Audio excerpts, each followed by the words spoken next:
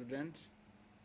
Today we are going to discuss a very beautiful topic that is evolution of gene concept. Myself Razaman Chauhan working as a assistant professor in Department of Botany, GGM Science College, Jammu. First of all, we shall start with the definition of gene, which is a biological unit of heredity and it is a segment of DNA. A gene is also a locus or region of uh, DNA that encodes a functional RNA or protein product and is the molecular unit of heredity. Now I have given a diagram also here uh, wherein we have uh, shown location of genes on chromosome which will be discussed later on. Going into the final details of our topic today that is concept of gene evolution. There are two parts. First one we will discuss some historical aspects and then we shall analyze the evolution of gene concept uh, by uh, two factors that is functional aspect as well as uh, structural aspects. Now as far as uh, history of evolution of gene concept is concerned it goes way back even beyond mendel's factors. But we have uh, shown here after mendel's factors only. Mendel, who is also known as uh, the father of uh, genetics, he started his work on genetics by crossing two individuals of uh, plants with variable T in their characters. One example given here is a tall plant being uh, being crossed with a plant with recessive gene that is small and ultimately a hybrid is formed which is tall on selfing it gives the tall is to small ratio that is tall is to dwarf ratio that is 3 is to 1 that is that was the earlier work which was started by Mendel who was a monk. Uh, as you all know I will not go into finer details. There are seven characters of pea plant which were uh, which were uh, taken into account by Mendel. Later on, a theory was developed by Walter Sutton and Theodore Boveri in 1902, which is known as chromosomal theory of uh, inheritance. According to this theory, Mendelian genes have specific loci on chromosomes, and it is the chromosomes that undergo segregation and independent assortment. Now, this theory, chromosomal theory of inheritance, it also identifies chromosomes as the carriers of genetic material. Later on, work by Morgan on Drosophila melanogaster in 1910 uh, the fruit fly, the fruit fly is also known as uh, it, in, in its zoological name, scientific name is Drosophila, Drosophila melanogaster. It provided convincing evidences that Mendel's heritable factors, which now are known as genes, are located on chromosomes. Ultimately, we have uh, reached to the conclusion that uh, it is the DNA that is the genetic material of uh, uh, all living, most of the living organisms. Now, why DNA is uh, genetic material? We have come across various experiments, uh, one by Griffith, the others one by Avery, MacLeod, McCarty, Hershey, and Chase, which have given us convincing evidences that DNA is the genetic material of all living organisms, most of the living organisms. Although there are some RNA viruses, but most of the living organisms have DNA as their genetic material. We shall start with Griffith experiment, uh, wherein he uh, he used heat killed there are there are two strains of uh, there are two strains that is living S strains and living R strains. They these were used by they were injected into mice once before killing and one after killing. When living S strains were injected into mice, mice dies. But when it it was heat killed and injected no bacterial cells were found in the heart and mouse was healthy. But when the S bacteria were killed, mice were again healthy, it did not die. But when the two strains, that is S strain as well as R strains, were mixed together, they were injected into the mouse, it died.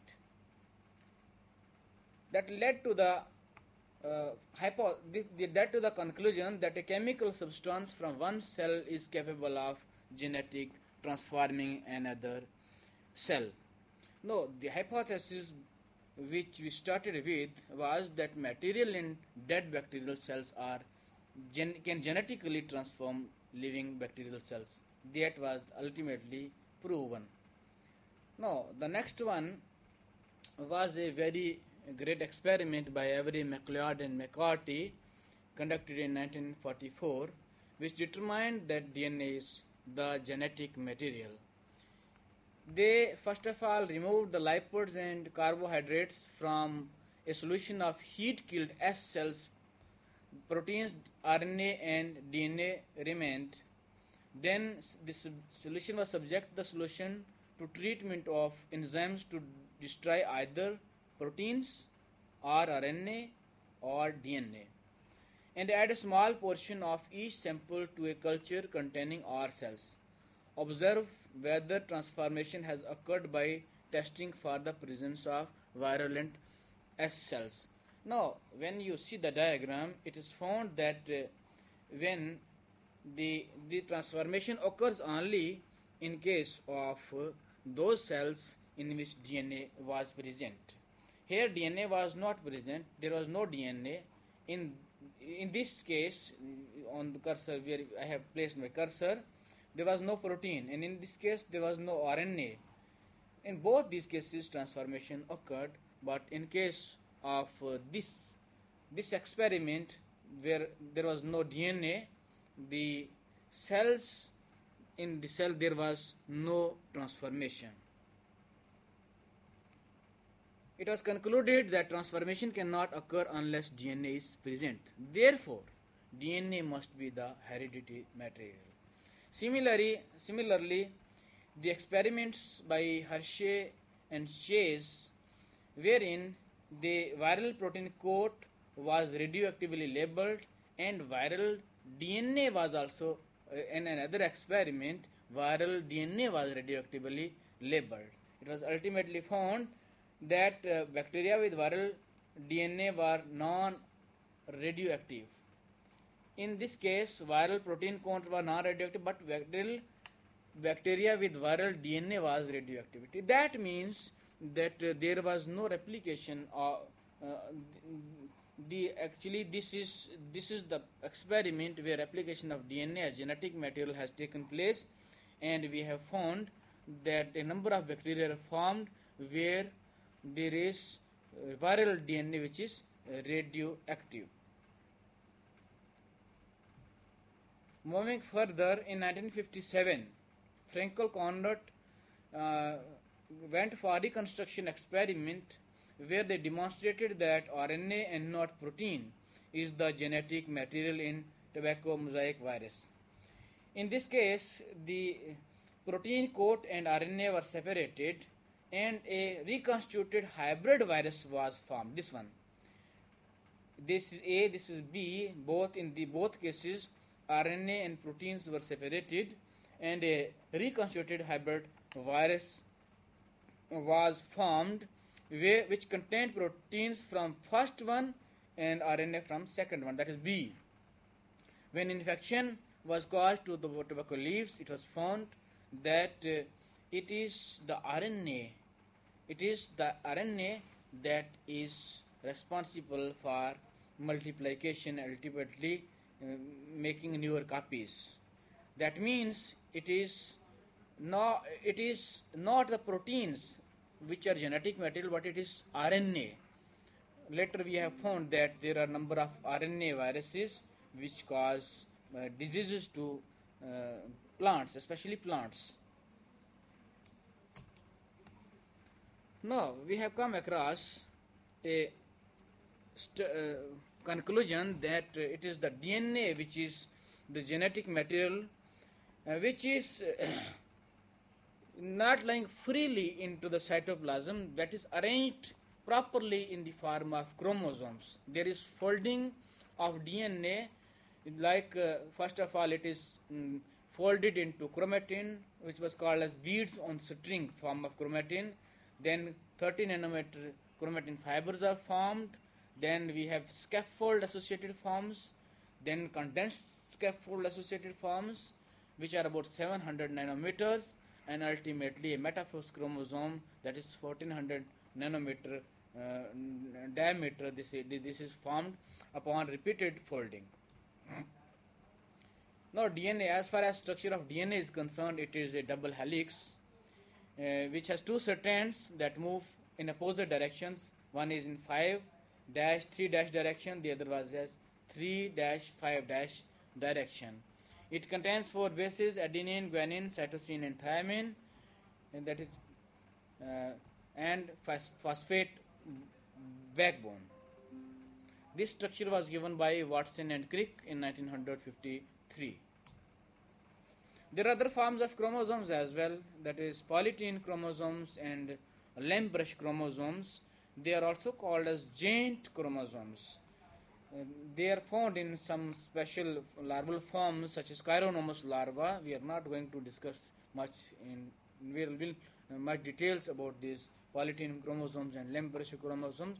It has been found that they are also mm, used for during formation of a number of RNA proteins, etc.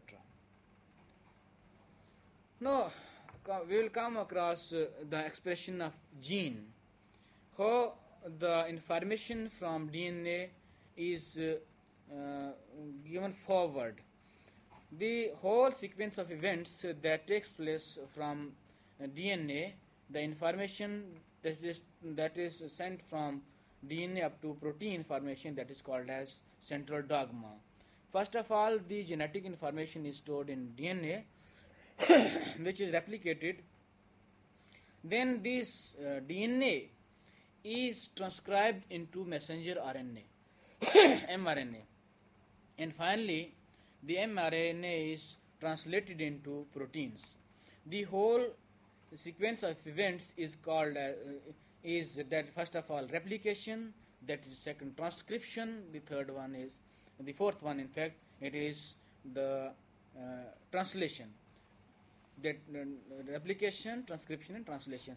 The whole sequence of events from replication of dna up to the formation of proteins is called as uh, uh, this uh, central dogma. Now our main topic that is evolution of gene concept. That was something historical. Now we will come across the main topic that is evolution of uh, concept of gene. We have taken two aspects the first aspect is evol- uh, functional a- a- aspect. The other aspect is our structural aspect.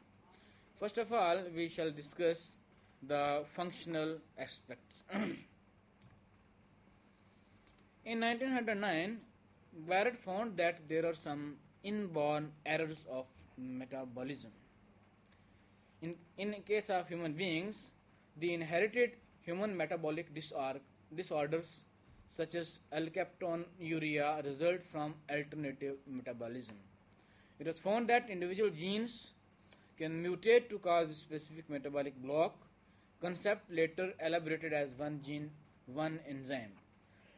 Over 4,000 inherited genetic disorders have now been described. Now, this uh, phenylalanine is ultimately converted into carbon dioxide and water. Normally, it is converted into the carbon dioxide and water through a series of chemical reactions.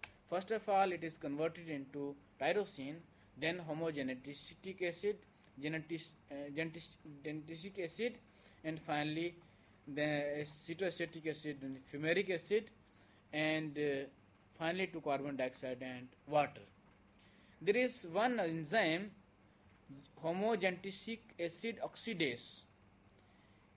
This is absent in some human beings suffering from alkaptonuria. This one. Those, those individuals which do not have homogentisic acid oxidase, they are unable to convert homogentisic acid into acetoacetic acid and fumaric acid which ultimately are converted into carbon dioxide and water. They suffer from alkaptonuria. Now, a step backward again, the concept of genes as uh, beads on strings which was given by Darlington in pre-1940s. According to that concept, gene is the basic unit of genetic information which is defined by two criteria. It is a unit of function and a unit of structure. Later on the unit of structure was uh, given two aspects also, the unit of recombination and unit of mutation. Uh, that is recon and muton. You might have read in your earlier classes. It was Beadle, it was Beadle and Tatum who in 1942 gave a concept of one gene, one enzyme. They were working on um, bread mold, common bread mold, neurospora. The neurospora can grow on minimal media because it can synthesize most essential metabolites itself. If this biosynthesis is under genetic control, then mutants in those genes would require additional metabolites in their media. This was tested. This is very important. If this biosynthesis is under genetic control, then mutants, mutants which we are going to create, uh, the mutants in those genes would require additional metabolites in their media. And uh, this was tested, in fact, uh, by Beadle and Tatum by irradiating neurospora spores and screening the cells uh, they produced for additional nutritional requirements which are known as auxotrophs. Now you can see this uh, this, this slide, this photograph. The the wild type neurospora was first of all irradiated. And it was grown it was grown on uh, minimal media. Some wild types were able to grow on the minimal media which contains minimum amount of metabolites essential metabolites but others were unable to grow. They either required one or another metabolites like minerals like uh, thiamine. These uh, requirements were required by these auxotrophs for growth. That means the gene for that specific uh, uh enzyme was uh, uh, mutated and it was not able to produce the required metabolite or enzyme or metabolite whatever this hypothesis proposed by uh, there was another experiment by Ingram the hypothesis for that was uh, about monomeric, dimeric, or uh, non-enzyme proteins. In fact, Ingram uh, was able to prove that there was not a single DNA molecule only that is responsible for production of a single enzyme. According to him, there may be more than one. There may be more than one uh, DNA molecules or uh, genes which are responsible for producing a single protein molecules. One monomer, two monomers are non-enzyme proteins. One mon monomeric means a single polypeptide chain of enzyme um, proteins, a single polypeptide chain of uh, mm, protein. Dimeric means an enzyme where there are two uh, two polypeptides forming a single enzymes and non-enzyme proteins are also some. According to this hypothesis, A gene specifies a single polypeptide chain that may ultimately join together forming a complete enzyme. So this was the experiment wherein he found that a precursor uh, uh, which provided uh, for production of ornithine through enzyme A that ultimately led to the production of arginine through citrulline. There were three enzymes required for production of arginine from a precursor through enzyme A, enzyme B, and enzyme C pathway, wherein or ornithine, citrulline were also formed as intermediates. There was another experiment also by Beadle and Ephrussi, wherein they used V, v enzymes and C enzymes that ultimately led to the production of brown eye, brown eye pigment. In Drosophila, there are some uh, some individuals which have brown eyes, brown eye, the brown eye pigment, and uh, in case of Drosophila, there are two genes that is V genes and CN gene which are required for production of brown eye pigment. No, this brown eye pigment is xantho, xanthommatin this brown eye pigment. A precursor that is tryptophan. This is the precise pathway which we know. know. The tryptophan is the precursor X that is converted into N-formyl kynurenine. Then kynurenine is another intermediate which gives rise to the production of phenoxazinone through an uh, intermediate again they, these the V gene, V plus gene or CN plus gene, the they pro produce tryptophan pyrrolase and kynurenine hydroxylase. If these two genes are absent, this one V and CN genes are absent in Drosophila, or if they are irradiated or mutated, the production of brown eye pigment will not occur and we will not see any brown eye pigment in, Drosophila in, species or individuals. Now that ultimately gives another um, clue that uh, for production of a single pigment we need more than one genes. That ultimately led to a newer hypothesis that one gene is not responsible for production of one enzyme one gene is responsible for production of one polypeptide. This is also proven in case of sickle cell anemia where there is only a point mutation. A thiamine molecule is uh, mutated by replaced by adenine. Now when mRNA is formed, in case of adenine there is uracil and a triplet codon which normally should be GAA that uh, gives rise to glutamic acid. In case of sickle cell anemia, it is UGUA that that codes for valine. Now, individuals having valine in their hemoglobin are known as sick uh, are those individuals which are suffering from sickle cell hemoglobin. This hemoglobin is defective hemoglobin. No, not only the gene is a function uh, is is a functional one. It is also structural one.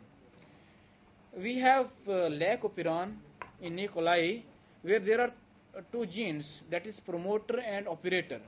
They do not code for any enzyme. Promoter and operator of operon do not transcribe and translate any enzyme or protein, but they control the expression of gene. Lac operon there are three genes that is lac i lac z lac y and lac a. They ultimately lead to the production of enzymes which are responsible for metabolism of lactose the enzymes are beta galactosidase etc so that means genes is also a structural unit but it may not be a functional unit Now, another concept that is one sequence more than one product.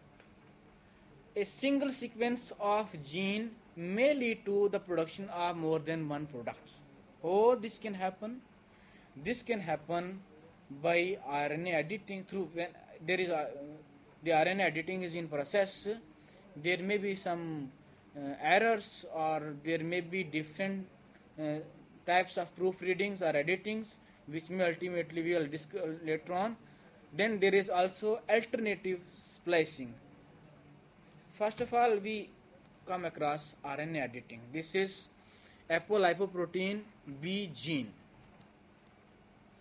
Normally, this uh, apolipoprotein B gene in liver it leads to the production of apolipoprotein B100 which is made up of 4563 amino acids. But in case of intestines it forms apolipoprotein B48 that consists of 2152 amino acids.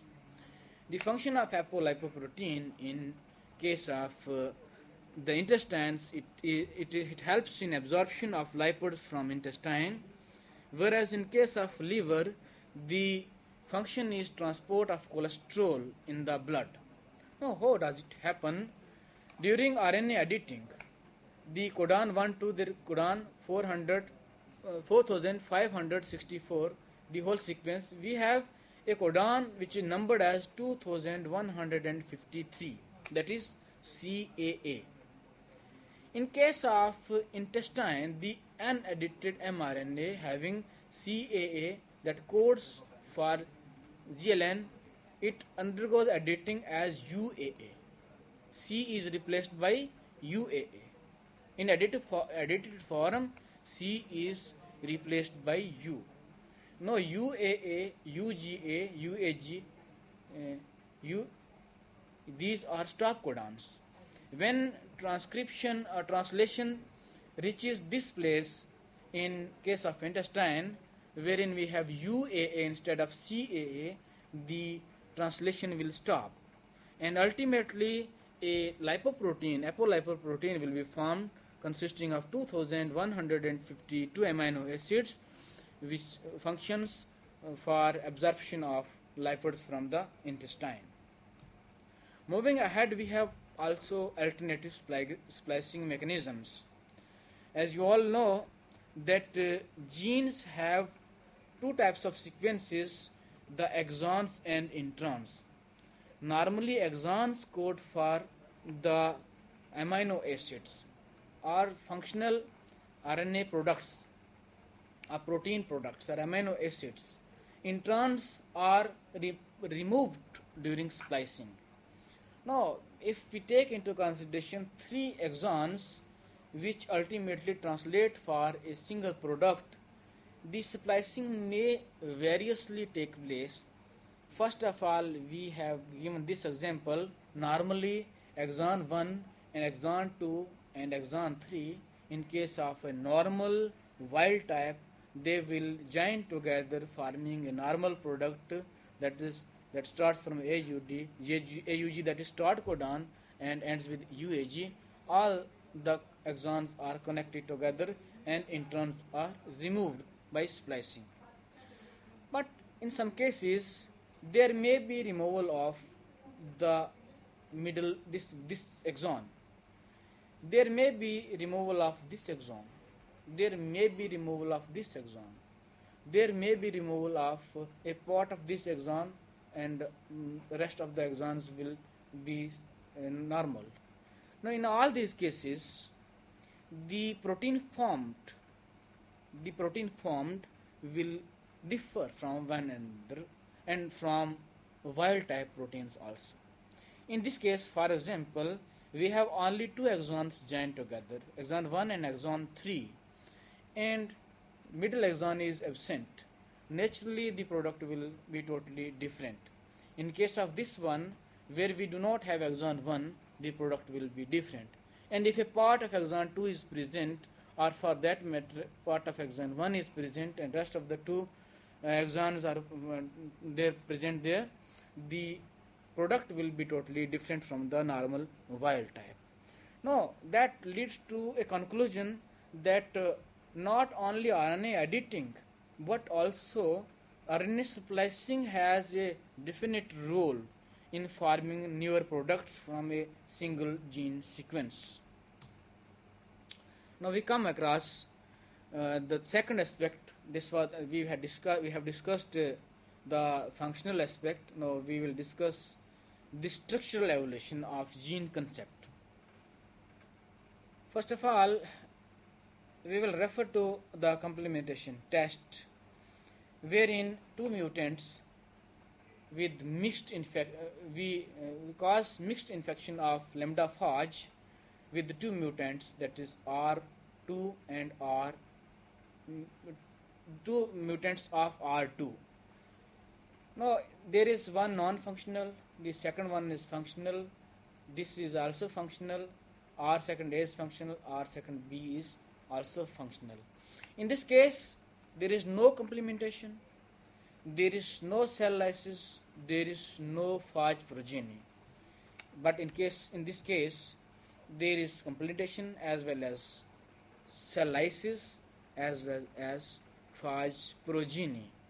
In this case where phage with mutation in R second A this is the, this lambda phage with mutation in R second A is given to E. coli where there is no plaques formation and no cell lysis. That, that is about transconfiguration. Not only this, uh, an experiment uh, conducted by Barbara McClintock in 1940s on uh, jumping genes. Jumping genes are, which are later were later known as transposable elements.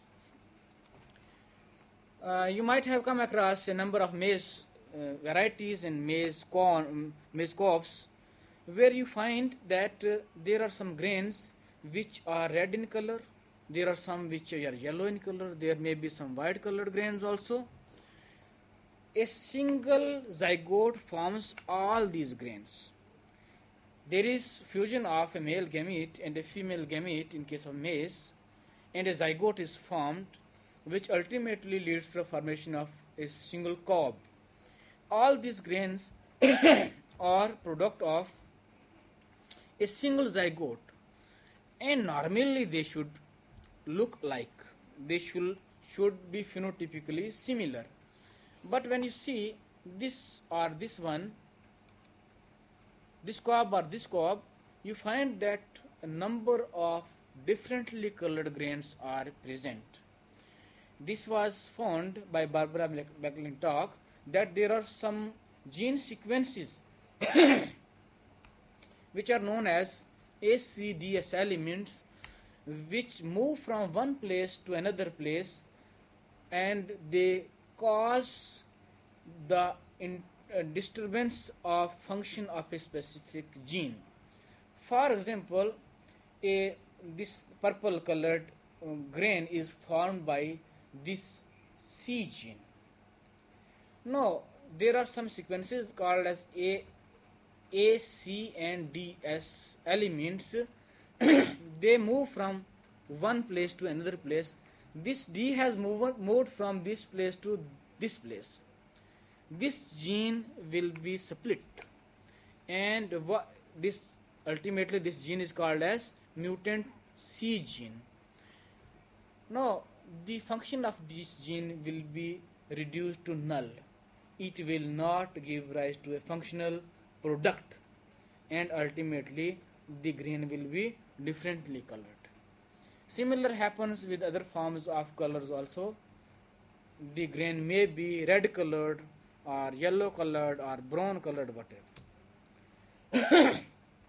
in case of viruses, we have some overlapping genes also.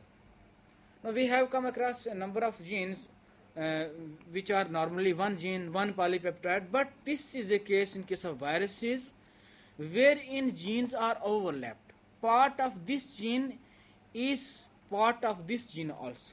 That means one gene sequence, a complete sequence of genes may be coding, coding is coding for two types of products.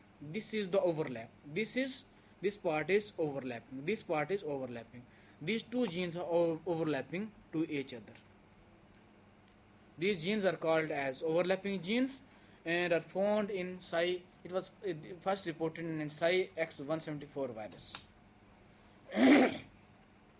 in case of eukaryotes, in case of eukaryotes, it was found by Roberts and Sharp in 1977 that genes are split genes.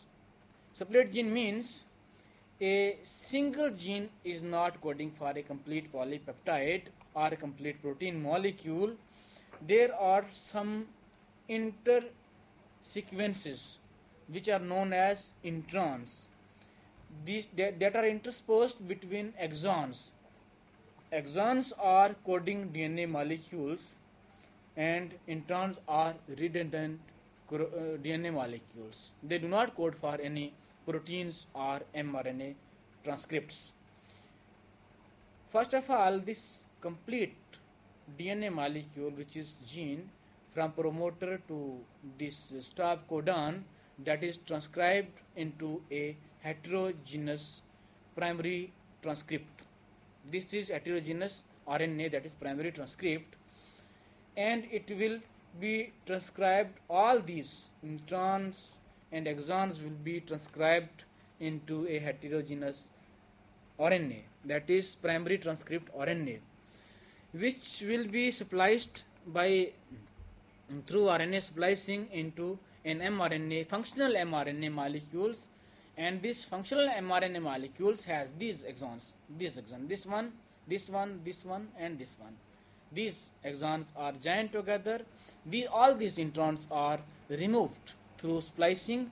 And this functional mRNA molecule is formed which undergoes translation leading to the formation of a functional protein molecules.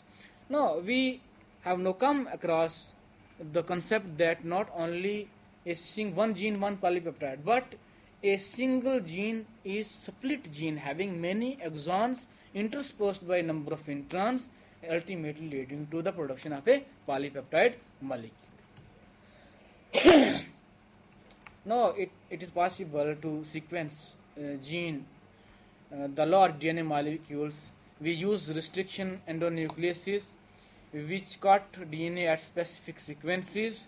They are assembled by overlapping DNA sequences and these assembled sequences are finally now this is possible in fact human genome project uh, has been completed wherein we have uh, sequenced complete genome of human beings. Genome of chimpanzees has also been sequenced.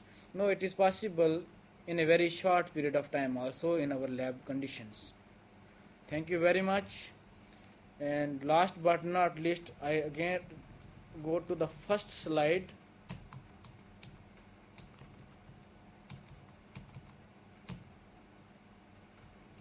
This one. This was this was our topic main topic. We discussed some historical aspects where we went through uh, Mendelian inheritance Avery MacLeod then uh, we went that to the extent that DNA is the basic genet genetic material. We went for the evolution of gene concept through two aspects. Well, the first one was functional aspect. The other one was structural aspect. We discussed in detail the various parameters various factors responsible for arriving at such conclusion. Thank you very much